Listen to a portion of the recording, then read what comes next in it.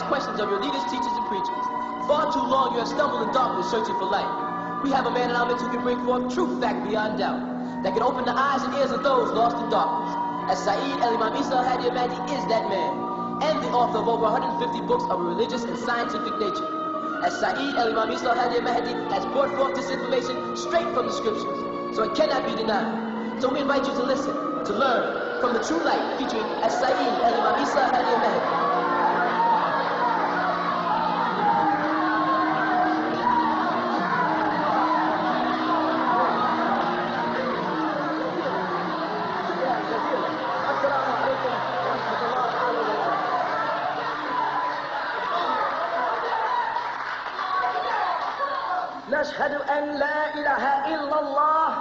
وحده لا شريك له الحمد لله رب العالمين الحمد لله والي الكريم وصلى الله على أنبياء أجمعين والمسيح والمهدي والمجدد لمن مرسلين Are we not the bearers of witness that nothing would exist if Allah didn't create it? And that He is alone and has no partners? And that all gratitude is for Allah subhanahu wa ta'ala the sustainer of all the boundless universes. All gratitude is for Allah subhanahu wa ta'ala, the generous eternal friend. And send salutations of Allah on all of his prophets and his apostles, and on the Messiah, the anointed one, and on the Mahdi, the guide, and on the Mujaddid, the reformer, which was all sent from Allah subhanahu wa ta'ala. We send greetings and we send peace throughout the boundless universe to all. Assalamu alaikum wa rahmatullahi ta'ala wa barakatuh. You are now listening to The True Light with As-Saeed El-Imam Isa El-Hadi Mahdi. People who call themselves Bani Israel, what, what do they base their doctrine on? The word Bana in Hebrew, like Ibna or Bana, means son of. Bana Israel means the children of Israel. When we get into that subject, you get very touchy. Here's what I mean by that. You are Israelites insofar as you are Abraham's seed, and Abraham's son, Abraham had a son named Ismail from Hagar, and he had a son named Ishaq, Yitzhak, or is Isaac, and Isaac had two sons, Jacob and Esau. And from Jacob, who had his name changed to Israel, to ascend to El, or to wrestle with, or to verse, to try to take the heavens. His name was changed to Israel. You got from Jacob, whose name became Israel, 12 sons and one daughter. The fourth son, Judah, and the second son, Levi, were the most powerful. Then, from that, we got the last son, after Benjamin, we get, which is Benjamin, son of the right hand, we get Yusuf, called Joseph. Joseph was taken into captivity in Egypt, married, had two kids called Ephraim and Manasseh. They became classified as part of the family, and Levi became known as Levi, the high priest, and Judah left and went to the south. The migration of Judah to the south is why they have such a conflict in Ethiopia today, because they can't get organized who are the Falashins and who are the black Jews. Well, let's straighten that out right now, because they don't know what they're talking about. When they speak of Suleiman having a wife who came from Yemen up to him and got impregnated and went back down and gave birth to a son named Memlech. That is one descendancy that got into Ethiopia. But they also speak about a remnant of the house of Judah that, that migrated uh, to the south and went into Ethiopia. The ones who went into Ethiopia of the Judah are called Phalashians, migrants. The ones who came down by way of the Sheba through a son Memelech are called Habashians, Ethiopians, and they're called black Jews. They left before the Mishnah and the Talmud, so they don't have all these hadith that the modern day so-called Jew lives by. They live by the, the basic five books. But the ancient ones, called Phalashians, live up in the mountains, and they came from the original tribe of Judah, who also had portions of the tribe of Dan with them. So these people are going into Ethiopia, and they're taking Coptic Christians who put yarmulkes on, and taking them into Israel and saying these are black Jews when they're not. Again, to answer your question, the name Bena Israel means the children of Israel. The only remaining seed of Israel is Judah. The rest of them have perished.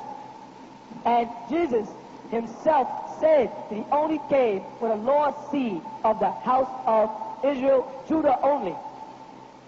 Because in his time, that's all you could find. You could find male servants and women servants who were people who were converted to Judaism, as it was called, as it's called today, and calling themselves Jews, just like in Muhammad sallallahu alaihi wasallam's time, you'll find many people who said they were Jews in Medina, but they were not of the house of Israel, the original house. The original house of Israel blew their covenant and perished. The books of Kings will, will, will explain that to you. Okay? So the Ben Israel, you find black people in the Western world today saying they're Ben Israel. You can say anything you want. You are Abraham's descendants. If you've been baptized in another religion, and even though you may understand there are things that you don't know, and when you find out that, yes, you know, I know differently now, how does that hold? Let me, let me answer that. That's the easy answer. That's answered this way, that a lot of people pledge allegiance to Jesus, the Messiah. And Jesus himself was pledging allegiance to his heavenly Father.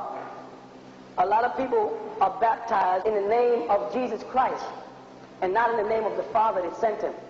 He said, Our Father who art in heaven, holy is thy name. Thy kingdom come, thy will be done. The Lord is my shepherd, which is from the same statement of him being the sheep or the lamb. So the point is a lot of people are baptized in the name of Jesus Christ when they should have been baptized in the name of the Father that sent Jesus Christ. You follow? So if a person is baptized in the name of Jesus Christ, they still have to be born again. He himself classified himself as a man. It was the mortal that wanted to make him a deity or make him the deity, because he was a deity. He was not the deity. It's a big difference. You follow what I'm saying? So if a person is baptized in the name of Jesus Christ, when they get ready to become what Jesus said, blessed are the peacemakers. And no Christians are called the peacemakers. Blessed are the peacemakers, for they shall be called the children of God. When they finally make that baptism, then they're truly born again. You follow that? When they, when they undergo the persecution that Jesus said they would, Blessed is he who is persecuted after righteous name's sake. I don't know any Christians who get persecuted for becoming Christians. But the moment you tell your mother you're a Muslim, you got to be brainwashed, and these people are crazy. Then the persecution starts. Muslims all over the world are being persecuted. It's not so much of whether you're a Christian or you're Jew, but the moment you say Muslim, then the persecution comes in and the Messiah that the Christians are claiming is theirs, which is Jesus who was not a Christian, right? He himself said, Blessed is he who is persecuted after righteous namesake. For his is the kingdom of heaven. It says, Great is his reward in the kingdom of heaven because they persecuted the prophets which was before you. Now, Jesus made this statement, and Jesus was a prophet. And he was speaking in a future tense. And who was Jesus talking about? Name another prophet that came after Jesus in Israel. There is none. The only other prophet who came that believed in what they refer to as monotheism, which is not the right meaning, but one deity, was the prophet Muhammad. He was the only other man that came that believed in all the books of Moses and all the teachings of Abraham. So when Jesus was saying that, he was saying to Muhammad, Blessed are the peacemakers. Muhammad just happened to be the man that comes along and picks up the title Muslim, which means peacemaker. Calls his way of life al-Islam, which means peace. Coincidentally, that when Jesus, who was the last prophet of Israel, because he said right in the Bible, I came to my own and they received me not. But as many as do, I give the power to become as sons of God. So he had finished his mission for the children of Israel because he was the last hope for the children of Israel and they rejected him. Then he spoke right in St. John, but after me I will send another comforter, which confirms what was mentioned in Deuteronomy 18, when Moses was told that another prophet would come after him, like him. Also confirmed in St. John's when they asked John the Baptist, was he the prophet? They separated Messiah, but they asked him, are you the Messiah? Which we later learned was Jesus Christ, but the word Christ that they translated to the Latin comes from the word Messiah. So therefore, when they asked John the Baptist, was he that Messiah, we understood that that was Jesus. Then they said, and are you the prophet? Which they put in another column as if there's another person. Another prophet that was destined to come. Who was this prophet if Jesus was standing there talking, and he was talking in a future tense, who was this prophet that was to come after Jesus in the future tense? And let me give you some of the clues to the attributes that he used. Jesus referred to this person as a comforter, which just so happens to translate through the Greek to the Latin to Ahmed. Ahmed is another way of saying Muhammad. Same word. Now, just coincidentally, that's there. Then coincidentally, Jesus said, Blessed are the peacemakers. And this man, Muhammad, comes and calls his followers Muslims. From the word salam, which Jesus said when he walked into the upper room and he said, Salam alaik to his disciples, peace be unto you. So he understood the word salam in his mind. He didn't say shalom, he said salam alaik, right in the Bible. He understood the name, and he understood the meaning of the word peace. Yet he said, blessed are the peacemakers. Then this is future tense. Jesus is talking. What man came after Jesus that A, was a prophet, like Moses, which means he was a lawgiver, because it says right in the books of St. John's again, the law came by Moses, but grace and truth came by Jesus Christ. So they acknowledge, Jesus acknowledged Moses as a lawgiver and a law that he himself said that he did not come to change, but to confirm. So he was not trying to mess up the law of Moses. He was still living according to the Israelite law. You follow that? And now who is this man like Moses who came with a, a text, a scripture, a lawgiver, who also referred to his followers as peacemakers, who were persecuted all over the world because of their religion, and who had a prophet who came after Jesus. Muhammad. Only one man who came along, whose name was Ahmed, comforter,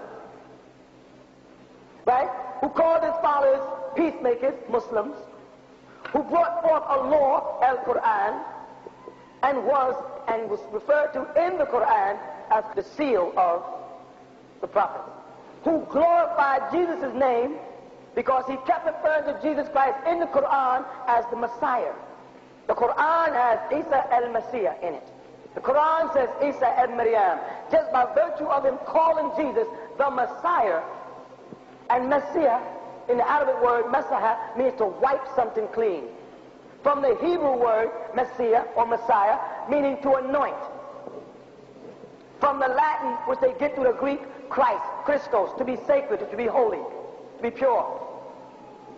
So Muhammad in the Quran was constantly glorifying Jesus' name just by virtue of saying Jesus the Messiah.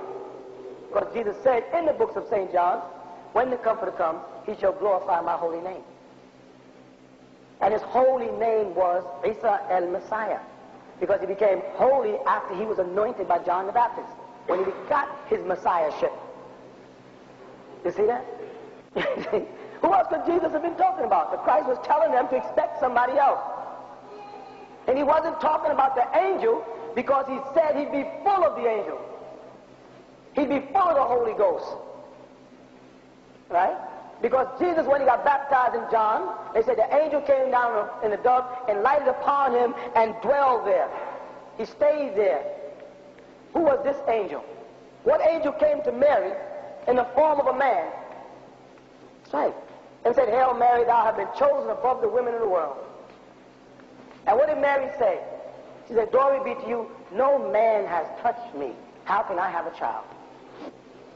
And they said, The Lord merely declares a thing, and it is. Kun fayakun. Exist, and it exists.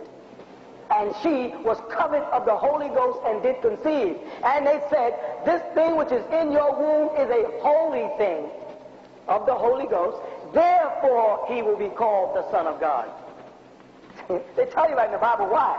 Why Jesus was called the Son of God? Because Jesus was full of the Holy Ghost from God, the Word of God. I'm using God for y'all. I'd rather use Allah. And I've used Allah not because I like it so much, but because Jesus also used it. Because if you believe Jesus is the one that said, Eli, Eli, lama sabachthani, my God, my God, why have thou forsaken me? I'd like to equate Eli. And does you tell me, does Eli sound closer to Allah or does it sound closer to God? so in your Bible, Jesus uses Eli. He's using the word Allah when he says, my God, my God, why have thou forsaken me? If you believe that was Jesus on the cross, then you're going to have to come to the grips that he didn't use God either. Because Eli is with the Hebrew word for Elo, from which they get Elohim. Elohim is the plural like Allahumma. So Jesus didn't use the word God. Nor did he use the word Jehovah. The word Jehovah was not put together until the 14th century. Jesus would have never even understood what they were talking about if they called themselves Jehovah's Witness. However, John did come to bear witness to the light. So the word witness is true. The word Jehovah is a mistranslation of the word Yahuwah. To be clear, that's true. But when you make it a religion, that's when you make the mistake. because that's not what Jesus meant. Jesus told you what the children of God in the last day will be called, right in the Bible in Matthew. He said, Blessed are the peacemakers, for they shall be called the children of God. The 144,000. He told them that you see them, the 144,000 will be gowned in white. Right? The cardinals wear red, and the fathers wear black. Are they ignoring what Jesus is saying?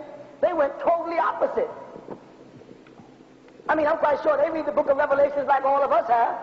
Don't they see that Jesus' followers are supposed to wear white? What are they, maliciously ignoring it? Do they think one little knot of white in their throat, one little splash of white of hair is sufficient when Jesus said gowned in white remnant? Don't tell me that that is symbolic of a state of mind because it said gowned. Your mind does not get downed. They're playing with your mind. And when they play with your mind, they're playing with your soul. And when they play with your soul, they're interfering with the path to paradise, to the garden. And that is dangerous. Be explicit when you talk. Jesus said, when you see that spirit, test that spirit.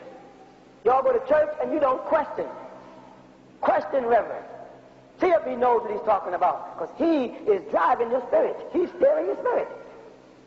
And test every imam and every teacher that stands up to teach you. Question them the way you come here and ask questions.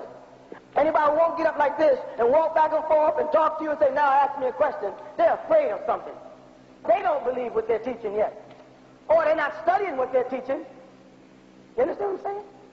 Because if you believe in what you're teaching and you've studied it, then you should be able to get up here and be questioned about it. And defend it according to what you teach from, which is the scriptures. And if you read any of those Ansar Allah pamphlets, one thing you will see, it is saturated with scripture. Every other verse. You can read books from Pakistan, and you can read books from all over the world from Muslims, and they'll do a whole lot of running off about hadith, and won't put that Quran in there. One or two chapters from the Quran. If you ain't in the Quran, the Torah, and the Injil, then you're not in the Nur of Allah. You're not in the light. The light is intellect. And you've got to be able to be challenged. You cannot be mad at people because they want the right to question you about what you're saying to them. And it tells you right in the, in the book of Revelation, because the iniquities of men are so great, the hearts of many are wax cold. You know what that means? We don't know what to believe in no more. Everything sounds right. You get confused. But you have one gift. That gift is intellect. And with that intellect, you have the option to question until you're satisfied. And if you go to any religious meeting, any organization, and they don't allow you to question, you might as well get up and leave before they program you. Because you can be programmed by people who talk fast. And not just people who are in my church or in my congregation. When is the public going to just be able to sit down and ask questions? Nobody can get that close. And if you can't get that close, then you can't test the spirit. If you can't test the spirit, you're in the wrong room. Because your soul is what you're dealing with. Not my soul, not his soul, not his soul. You're dealing with your soul. And your soul must be satisfied, nobody else's. And your brother can tell you anything he wants about what we're teaching him. You know what I'm saying? He can drill you as much as he feels like about these teachings. But it won't be it won't be enough until you are satisfied in here. And when that finally, when that door flings open, that truth, you say, now I know where I belong. Or I don't know. Now them answers are crazy. I don't want to be there. That is your what? That's your decision. And nobody can take that away from you. And many people are going to tell you, don't go over there to those answers. They're crazy. Right? Them brothers are nuts. Listen to them brothers over there. They do this, they, they work the Bible, they do this, all kind of crazy stuff. But you're still sitting here. Why? Because the divinity in you, the divine in you said, I want to hear for myself. I have that right. It is the following verse, Jeremiah chapter 30, verse 6, Daniel chapter 9, verse 29, Okay, and, and Isaiah chapter 66, verse 7 refer to Revelation chapter 12, verse 2. How do the former and latter relate to the times we live in? Does it refer to Revelations chapter 12, verse 2?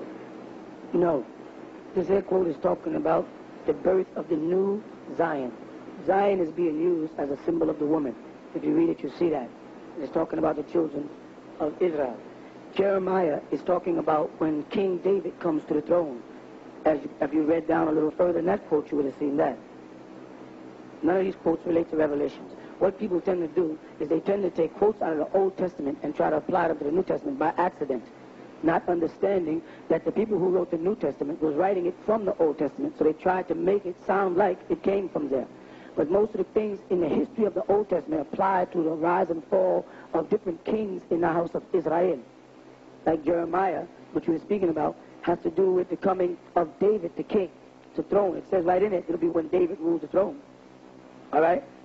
When you go down from 6, 7, 8, and 9 of 30, you come up with 9. But they shall serve the Lord, their creator, and David, their king, whom I will raise, future tense, up unto them. So this is way before Revelation was even revealed, because they put this in the future tense. David, their king, whom I shall, you see the word shall?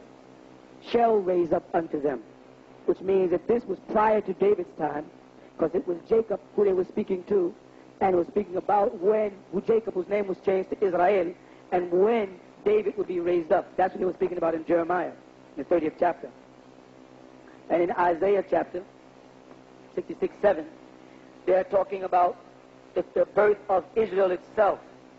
They, they say, before she travails, she brought forth, before her pain came, and she delivered a man-child. This man-child they're speaking about is Jacob, whose name is Israel, because the nation of Israel came out of her, came out of Jacob. And it'll go on to explain that. Someone read, number 8. who have heard such a thing, who have seen such things. Shall the earth be made to bring forth in one day, or shall a nation be born at once? See, it's speaking of a nation. All these are questions about what they were talking about. Or shall a nation be born at once? For as soon as Zion, which is uh, the word Jerusalem in the Greek, Zion is Jerusalem, travails, she brought forth her children. Now that's plural. Her became plural. You see? Her, the single, brought forth her children. Speaking of Jerusalem, out of Jacob, who was that male child they spoke of, who had his name changed from Jacob to Israel and became the father of the 12 tribes of Israel, of which Zion was built, and the reestablishment of the temple. You got to be real careful when we read the Torah, because so few people understand the scriptures that they like to make things from the New Testament fit in the Torah the same way a lot of Muslims try to make things that in the Hadith match the Quran when they don't. These are writings of men, and they sometimes get them confused. The stories of the Torah are usually self-explanatory, and the, the things of the New Testament, Revelations and the books written by Paul and etc., were things written after the Torah. So these men, it was very easy for them to try to make things sound like it was the Torah, because they had already had the Torah in their hands. You see, if they never had the Torah, it would be very difficult to make the Emmanuel of the New Testament look like he's the Emmanuel of the Old Testament. Then they would have to have divine inspiration. But nowhere in Christianity is divine inspiration necessary. Why? Because they use all their prophecies on the Old Testament, which was already divinely inspired to Moses and the various prophets before him. You understand what I mean? All they had to do is look back in there and then write their books and make it look like it. That's a very interesting thing that Christians don't seem to realize that 90% of the things they preach and prophesy are things that was previously written. Nothing in the New Testament can make anything look like it's divine because there's nothing said in there that's new. Everything in there is coming from explanation of the Torah, which Isa ibn Maryam, wasalam, which is Jesus, the son of Mary, said that he did not come with any law, but the law came from Moses, but grace and truth came through him.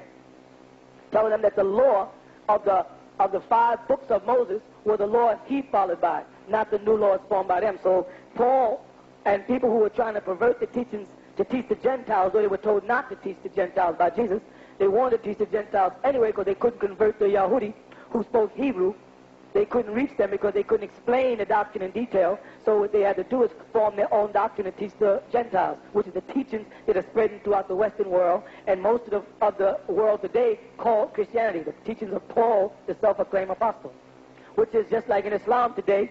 You find many people, Muslims, going from country to country, calling themselves sheikh and imam and picking up certain titles, Pakistanis, Afghanistanians, Maghribians, Sudanese, and these people are not teaching the Quran, they're teaching hadith, they're teaching seerah, they're teaching the history of Islam, but they cannot teach out of the Quran itself because they don't understand it. So what they did is they had scholars write a bunch of collections of books called Ahadith or Hadith, traditions and tales about what Rasulullah Muhammad sallallahu alaihi wasallam did or said, which cannot be checked or confirmed by the Quran in most cases, and they started living by those and not living by the Quran. And when you confront them with the Quran and say, ذَلِكَ الْكِتَابُ لَا رَيْبَ فِيهِ This is the scripture of Allah and there's no doubt in it. They immediately say, well, the hadith says.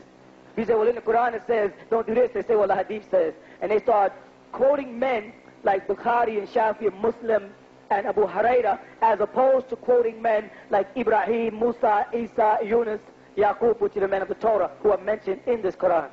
I'm saying that to say Muslims are just as in such a state of darkness as the Christians was insofar as they do more quoting of hadith than they do the very words of Allah. The way the Christians do more quoting of Paul and people like that than they do Jesus. Because 90% of the things, if you ask a Christian, did Jesus say it? They have no answer. Show me where Jesus said this. Show me. It's always Paul said it, or Peter said it, or Matthew said it. But where did Jesus say it? You follow? So I'm trying to make that to show you how you pull out three good quotes and say, it does this apply to Revelation? It's very difficult to match the Old Testament and the New because the people who wrote the New Testament already had the Old Testament in their hands, so they could make it sound like it fitted. They can make anything sound like anything they want because they already had the books. Like having one book and I can, I can write a book now and make it sound like you're the prophecy if I use the Torah to make you sound like you're the New Testament. But will it match up is the thing. What it is, is men have got away from the truth of these ways of life, you follow, which would be the religion of Abraham, and have formed the religion of Jesus, the religion of Jacob, and the religion of Muhammad. You see, alayhi salatu wasalam. And that's where the problem comes in. It's very difficult to master scriptures. It takes a lot of skill. It doesn't happen by luck.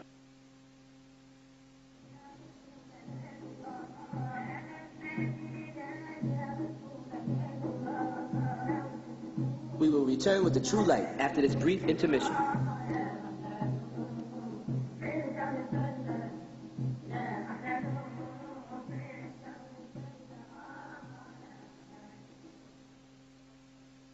Now is the time to ask questions of your leaders, teachers, and preachers. Where did all the races of people come from? Why did John have to baptize Jesus at the Jordan? And why do the four Gospels contradict each other? The answer to these questions can be with only one man, as Saeed al-Imam Isa al-Hadi al-Mahdi, the man who has written over 150 books on such topics as, is there life on other planets? How were the pyramids built? What race was Adam and Eve? And was the Holy Quran made up by Muhammad, or was it a divine scripture sent from the Most High? And what is the difference between the spirit and the soul? The answer to these questions can be found in the most dynamic books in history, authored by As-Sa'id al-Imam Isa al-Hadi al-Mahdi. These books can be purchased at the original tents of Kedar at 719 Bushwick Avenue, Brooklyn, New York, 11221. Would you like to see the man behind the voice you hear teaching the total truth? He is there at the Hall of Knowledge located at 548 Hart Street, Brooklyn, New York. Every Saturday and Sunday at 1 p.m., the Nubian Islamic Hebrews would like to invite you to question and answer classes with As-Sa'id al-Imam al-Hadi al-Mahdi. Come listen and learn. Hear the words of truth for yourself. Hear the answers to long-awaited questions. Also for your spiritual growth, an intricate design woven prayer rug designed by the hand of Sayyid al-Imam Isa al-Hadi al-Mahdi. Also available are prayer beads, incense, and oils. If you would like any further information on these items, contact the original tents of Kedar, 719 Bushwick Avenue, Brooklyn, New York, 11221. And be sure to ask for a listing of the most dynamic books in history, authored by Sayyid al-Imam Isa al-Hadi al-Mahdi.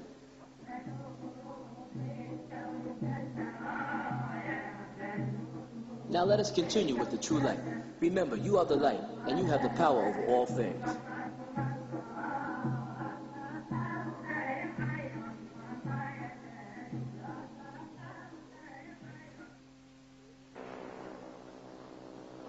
First, Allah taught me many years in Quran how to live and how to raise my children. But the Hadith taught me things that it made me the woman that I am today. Allah sent the angel Gabriel with the word to the Prophet Muhammad sallallahu alaihi wasallam that on the last days there would be more Muslims in clothes and in names than by faith, and that the believers would be all alone in the world, and I bear witness to that. And um, sometimes, you know, it's better to be alone and just wait for Allah to come for you.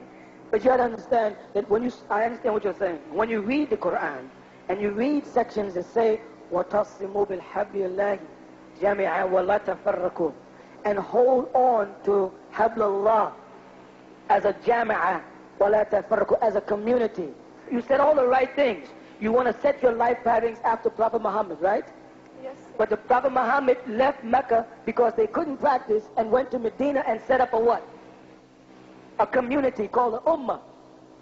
Yes. And he lived in this community and he set laws around a community of Beit Mal, everything, of the madrasa, you know, the khalwa of Quranic classes. This was community living. He, Rasulullah sallallahu alaihi wasallam, enjoined that. Now the point about hadith is that I understand fully that you can get guidance from hadith on how to do certain things. That's not the point. The point I'm trying to make is you can do that with the Jehovah Witness book or a Seven Day Adventist book too, and to them it looks right. I'm saying to be safe for your children on Yawm Akhri is to realize that the hadith are from men, not from Allah. We do not say don't read hadith. Ansars read hadith. We say don't read any that does not match the Quran. That is our point. There are hadith that comply directly with the Quran. We have no gripe with that. It's only when you come with certain hadiths. For instance, it says in hadith that when Aisha, was who's Zawjat Rasulullah, one of the wives of Rasulullah, used to have her menstruation, he used to lay his head on her lap and she would braid his hair. Uh, this is supposed to be Bukhari hadith. We know that the Quran says when a woman's a menstruation, a man is not supposed to touch her. So somewhere along the line, somebody's misleading us, and it's too dangerous for us to try to sit here and differentiate which hadith is right and which is wrong when we have the Quran. And we could just try to live the Sunnah. Instead of reading books of men, you made a very good point. The devil is very deceptive. What, that could be Bukhari and Shafi and Maliki and Hanbali too, and Muslim. All those guys will write the hadith because nowhere in the Quran does it tell me and you to expect the hadith to come. And see, there's another thing Muslims do. Muslims throughout the Arab world take the, the New Testament of the Bible of St. John's and say that the Comforter is Muhammad. But when it comes to the part where he shall not speak of himself, only that which he hears shall he speak, then all of a sudden they become numb on me. Because if Muhammad was not to speak of himself, then there'd be no sayings of Muhammad.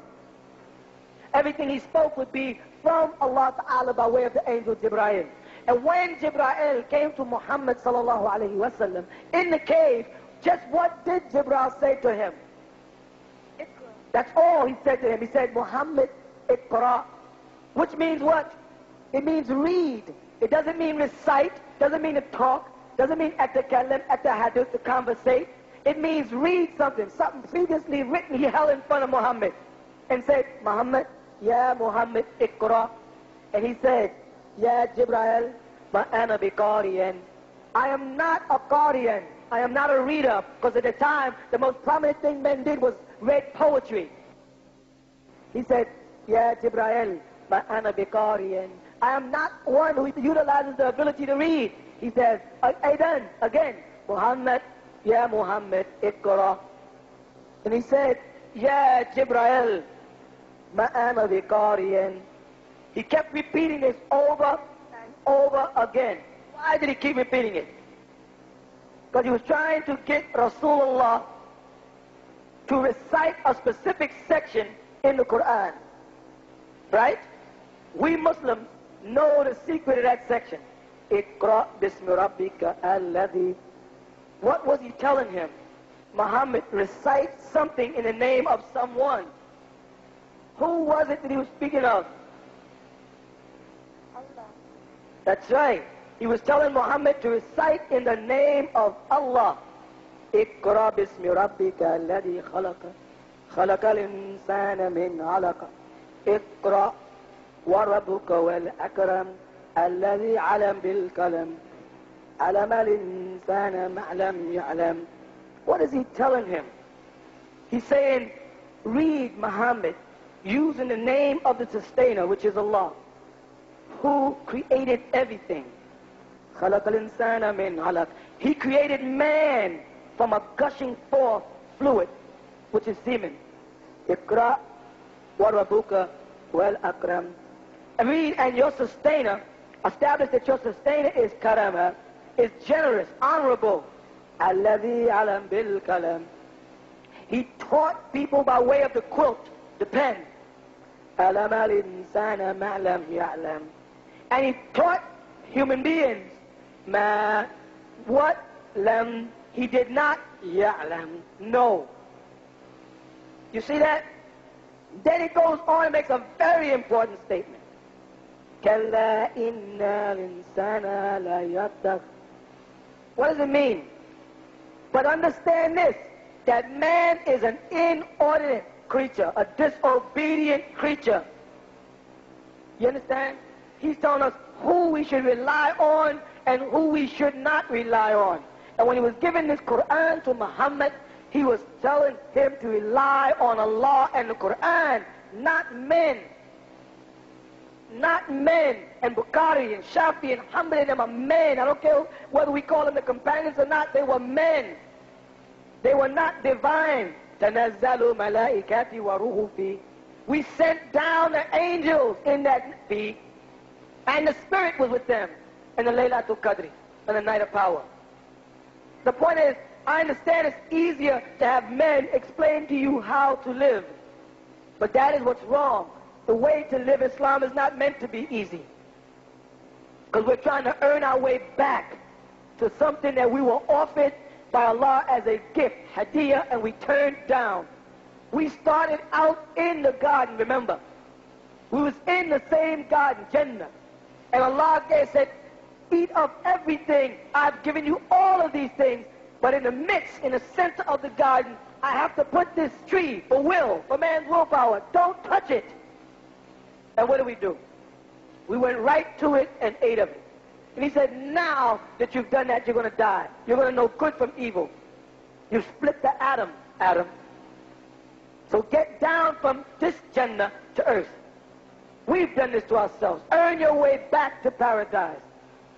Earn your way back to the likeness of Allah. And that's what we've been doing. But what we, men come along in many disguises to deceive us. And this, but I always ask Muslims every time I meet, whether I'm in Egypt or in Saudi, I say, show me anywhere in this Quran where it says we should follow somebody's hadith. Please show me. And they can't. And I say, then why should I do it? Because you say so? Because it was collected after Muhammad now, not while he was there. Show me, please, somebody, so I would know. I do see in this Quran multiple places where it refers me back to the Torah, where it refers me back to the Injil. I see names in here. I see Jacob. I see Isaac. I see Moses. I see Jesus. I see Jonah. I see Lot. I see Zechariah. I see Elijah. I see Elias. I see Yasin. I see Luqman. I see, I see all of these names of men who I find in the Torah. But I don't see Bukhari, I don't see Shafi, I don't see Hanbali, I don't see Maliki, I don't see Muslim, I don't see none of these men in the Quran mentioned. I read this Quran backwards and forwards many times in many parts of the world.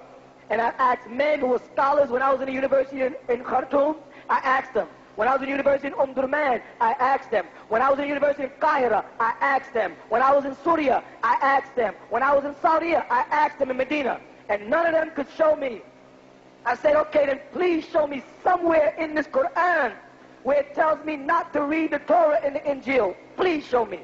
And they couldn't do it. I said, show me anywhere in this Quran where it says the Torah and the Injil is tampered with. And they couldn't do it. He said, it doesn't say exactly. I said, but this Quran is an exact text. It doesn't make mistakes. And I'm not going to mislead my children. I know the Quran came from Allah. I know the Torah came from Allah. I know the Injil came from Allah. I know the Zabur, the Psalms came from Allah. But I don't know about these hadiths. And until someone can show me them in there, I'm going to raise my children on the scriptures of Allah. And that's the Quran and Torah, the Zabur and the Injil and the hadith. The Quran tells you what to follow. It says follow Rasulullah and this text, the Quran. It does not give us an alternative. And it's frightening for the children that, we, that, that you have to feel alone in the world when there's a community that says, well, come home where people are like you are trying, and we're going to fuss and fight in here. We're going to go through all the same things, but we're trying at least together. And we'll fail, and we'll, we'll cry together.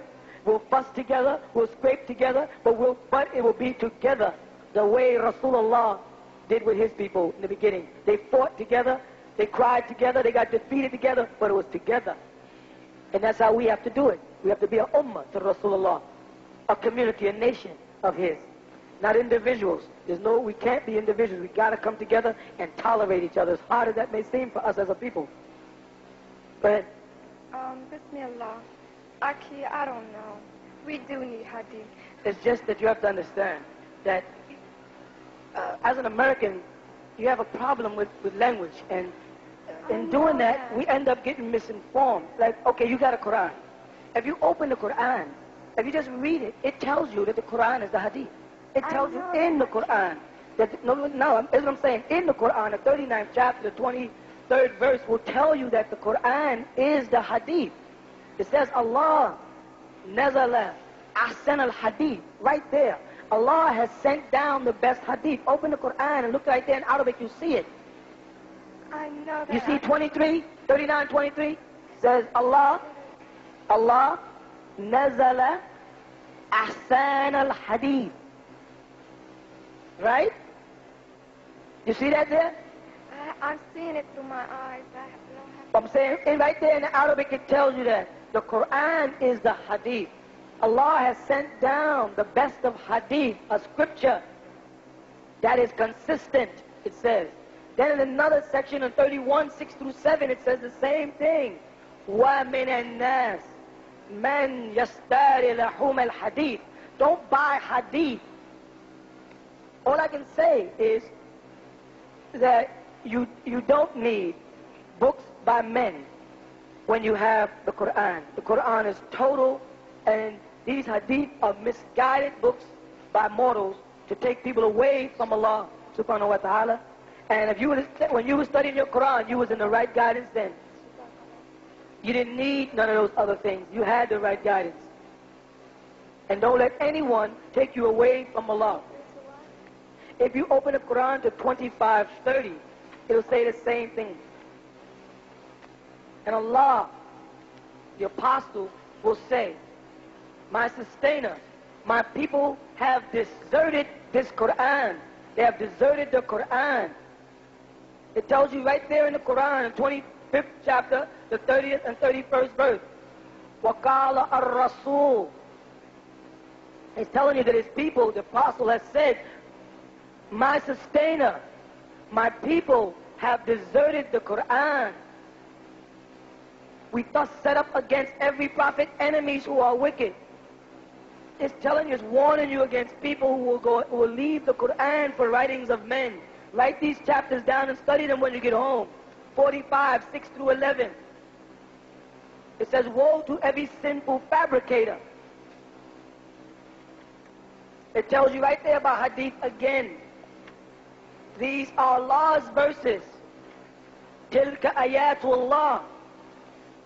We recite them to you truthfully. Haq. In which hadith, besides Allah's verses, do you live in? Please, someone read that out loud. 45, 6 through 11. Read 45, 6 to 11. It tells you right there. And the word in there is hadith. These are the communications of Allah which we recite to you with truth. Then, in what announcement? But the word here is hadith. Big word is hadith. And, but they translate them in Pakistani with announcement. And what hadith? Right there in Arabic. Write the word out on the blackboard and explain it. Hadith. In which hadith then will you put your trust in? And then it says, besides Allah and His verses, they do believe in. Woe to every sinful fabricator. It's telling us that people are going to fabricate books after this Quran called Hadith. Right in the Quran, but no one can show you in the Quran where it says you should get guidance from them. But I'm showing you in the Quran, the word Hadith is in there, saying don't follow them. Show them the word, so they'll see. Because you have to know the truth, because the truth will make you free. Nobody can pervert or change Allah's words. The Quran has been tampered with too. Here you said that we shouldn't call Allah God. That's the But yet- translation. but yet in the Quran it talks so much about That's the translation. That's why. See? That's why. That's not tampering the Quran. That's translations. That's why the first thing I said is you people have to let your children learn Arabic so that they don't get caught up in these confusions and these men's opinions. If those kids spoke Arabic, they would never even get to the word God because there's no word God in Arabic. So the main thing is the problem here is a lack of understanding the language, and you gotta care about the kids enough to get them to get the language, so that they don't be sitting around doing what me and you are doing now later on in life, because we could be arguing over little word meanings and waste a lot of time. But if the kids, if you get the kids to Arabic, which you can't teach them yourself, you you follow? Then they will know the truth, and it won't be so easily misled. You didn't know the word hadith. Most people don't even know the word hadith is mentioned in the Quran as something that shouldn't be read, because the people that come over here teaching them are Pakistanis predominantly or Afghanistanis, and they don't know Arabic well enough. It's a lack of understanding the language why people are so misguided. That is the whole thing. You can't compare Hadith to Quran. They're two different kind of Arabics. First of all, one is the Arabic of a man, and the other is divinely inspired from Allah. And the Arabic that's in the Hadith is not the same Arabic of the Quran. They don't even use the same terminology or grammatical structures. One of them is man's writings, and it's obvious when you read it in Arabic, and the other is divinely inspired, which is obvious when you read it in Tajweed or Tartil of Quran. This is very important. I'm not trying to verse you. I'm just trying to help you because I met many Muslims along the path of my life who have been misguided by men, and they don't realize, like I just showed you in this Quran, there are people that turn away from Allah, it says in the Quran. They turn away and they forsake the Quran for writings of men. It says it in the Quran, and it uses the word hadith in Arabic, but none of those translators put it there because they wasn't trying to wake y'all up. They didn't want y'all. They hate me. They hate me because I come along and I point out words and the meaning of words, and I'm conscious of racial uh, differences and colors and hues and where people come from because Allah is conscious of it. They hate the fact that I point these things out. But the truth must be known. And in the scriptures, Allah tells me and you to look out for men who will give us hadith. Simple, right in the Quran. It's right there. I'm quite sure the brother put it on the blackboard. We have. This hadith. That's right. It's hadith. Del. Show me where in the Quran it says Okay. Open your Holy Quran. You got it? Yes. And open it to the 45th chapter. And we go to the sixth verse. We have in English, they say, these are the communications of Allah. Because I believe you're using the Shia Quran also, right? Now let's look at the Arabic. Tilka ayatu Allah. These are the signs of Allah. Natluha, all right, which are recited alayka on, on you bil haq, by way of the facts or the truth. Right? Fabi ayah. And, and now listen now. You see that word It follows that? Fabi ayah. You see ha, del, th. You see that? Then after that it says, Badallah. The word you see there, right after that, fa, ba, alif, ya, is ha, del, th. That word is hadith. These are the communications of Allah, which we recite to you with truth. Then, in what hadith, after Allah's signs, بعد Allah wa ayatuhu, yu'minun, will you believe? Woe, wailin likulli, afakin athim. Woe to every sinful liar. It's telling us right there the word. Do you see that word hadith there? In the Quran, it's telling us not to follow them. It said the Quran is what was given to you, Muhammad. Tilka ayatullah. Bil haq. So now in what? So in which thing, ayah, which is ayah, hadith. So which of these hadith, ba'da Allah ayatuhu, after Allah's signs, yu'minun, will you, will you put your faith? After the Quran, it says ba'd Allah. The next word after hadith is ba'd, which means after. Ba, ayn, del. After the, now what is the signs of Allah? The Quran. El Quran. It says, right, uh, a- what things after the Quran are you going to put your faith? And the only book that came after the Quran is the Hadith. And it has the word Hadith right there in Arabic. It's right there. So, so, Bismillah. So, so, so, Allah sent Rasulullah, and, and we can't follow his teaching? We have to can't follow, his way? yes, we have to follow his way of doing things. And where did he get his way of doing things from? He got his way of doing things from Abraham. Open the Holy Quran in chapter 2, verse 130. It says, وَمَنْ يَرْغَبُ عَنْ مِلَّةِ إِبْرَاهِيمِ إِلَّا مَنْ سَفِيحْ نَفْسَهُ Which means, wa and man, who is it? Which is ragaba, who turns away or forsakes or leaves or forgets or tries not to follow and about Millah, the religion of Abraham, Ibrahim, illa except for men, he who safihu, is a fool, nafsahu, within his own spirit. And if we go to the same chapter, the 136th verse, it says, say, قالوا آمنا بالله وما أنزل إلينا وما أنزل إلى إبراهيم وإسماعيل وإسحاق ويعقوب وأسباط Say this, Muhammad. We believe, we believe. آمنا بالله by way of Allah وما أنزل What- and what was sent إلينا to us وما أنزل إلى إبراهيم and what was sent to Abraham and Ishmael and Isaac and Jacob and the tribes of Israel وما أوتي موسى and what was given to Moses وعيسى you see that وما أوتي النبيين and what was given to all of the other prophets من ربهم from their sustainer لا نفرق بين أحد no we don't make any نفرق no distinctions بين أحد between any of them منهم وَنَحْنُ لَهُ مُسْلِمُونَ And we are indeed Muslims. This is the religion we're supposed to be following according to the Quran. This is what Allah taught us. And this is the religion that Muhammad followed. You know why the problem comes up in America so difficult in other places? Because if you was in, let's say, Sudan, in my country, you would have been raised in the Sunnah. Because things people do in that environment are natural, as they don't need to read Hadith there because they've been living how to fast, how to circumcise, how to marry all this time. It's only because it's something new in America that you got to go to these books for this guidance. You follow?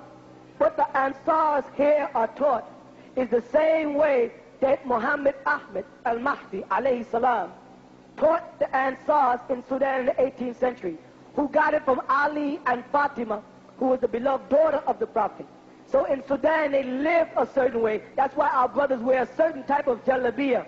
Our women wear their face covered a certain way. Uh, we do certain things certain ways because we have our sunnah as passed down to us through a silsila. We don't have to read hadith. We got it from our fathers. My father taught me how to pray.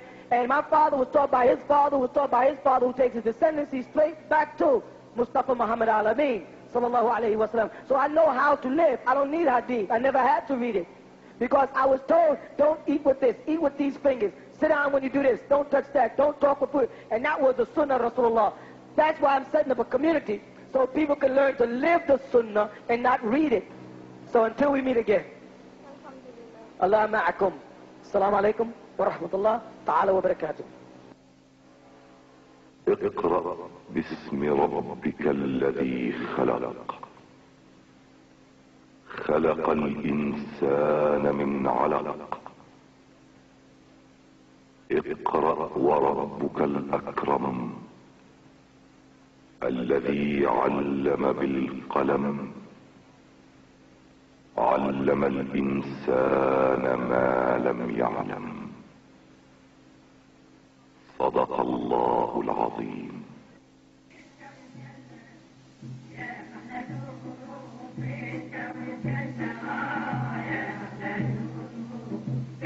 Those are verses 1 through 5 of Suratul Alaq from the Holy Quran chapter Separation of Selves. Now the 96th, originally the first chapter revealed to the Prophet Muhammad, peace and blessings of Allah be upon him. Translation by As Sayyid Imam Isa al-Hadi Mahdi. And it reads as follows. Begin all things with the illustrious names of Allah, the yield of the most merciful.